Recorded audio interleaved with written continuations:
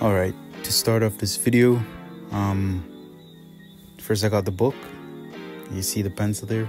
All right so we're using charcoal and this is about to get messy. As you can see there are bugs everywhere. Yeah. Okay because of the lights they attract the bugs and i am not cutting it out but yeah so as you can see i started off with the nose um you know basically I started off with a black shadow and then nose and I'm basically getting in there the shape of the old guy that I'm drawing. I don't know his name, but yeah. And then I went over with a eraser and and basically, you know, creating some shadows there, um, creating some light with the rubber. Yeah, all right that nose ain't it bruh. I gotta fix that nose. But yeah these bugs are bugging. Um yeah so the eye area i was trying to create a realistic eye and it looks weird every time i draw the eye. So i'm like yeah i'm gonna change this to something else but um yeah it ain't looking so good I'm not feeling pleased with the drawing of the eye, so I'm going to erase that for sure. Let's go ahead and draw the ear, the mustache, beard. Yeah, creating dark spots and stuff. Uh, eraser again. Smudge it out. Why not?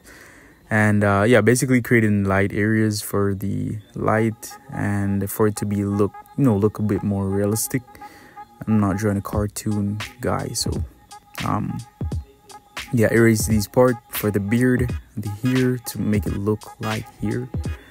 And scribble on the forehead there up on top there.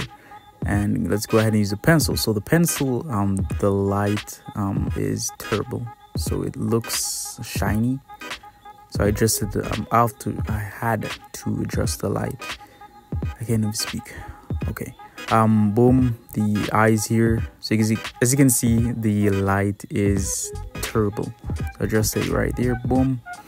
And the eye socket here shade that in because i'm not even going to bother trying drawing an eye as you can see, I tried multiple different ways to draw a perfect eye, but it doesn't fit, you know, the portrait. So, um, yeah, go ahead and erase that eye there. Looks horrible. I'll just create some dark spots to something that looks like an eye. And the mouth area here, um, I'm smudging it with my finger. My finger is terribly dark, but yeah from the charcoal pencil. So these charcoal pencils are like charcoal powder. If you rub your hands over it it immediately like wipes away. I'm wondering how do you use this? It's the first charcoal drawing that i'm ever doing. So i'm pretty i'm pretty um impressed with the end goal. Um yeah let's go ahead and the eye area there. As you can see it's mostly dark area something that looks like an eye create some shadow more shadows on the beard um, aspect.